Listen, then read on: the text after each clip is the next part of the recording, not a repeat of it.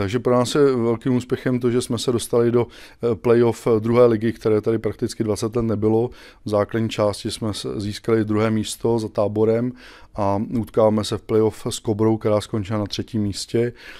Dnešní zápas, první zápas playoff dopadl 5-2 pro nás, takže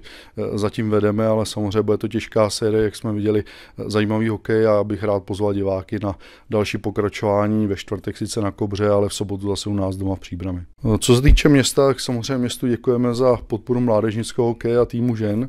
a e, jsme rádi, že můžeme využít tady toho zdejší e, zázemí zimního stadionu, který si myslím, že stále patří e, k velmi dobrým jakoby zázemím. Jsme rádi, že máme vlastně novou rolbu, nová světla a lepší zázemí kabin, takže věřím, že investice budou dále pokračovat a že diváci si sem míst cestu najdou a bude se jim tady líbit a samozřejmě to budeme se snažit pomoci dobrými výsledky všech mustev.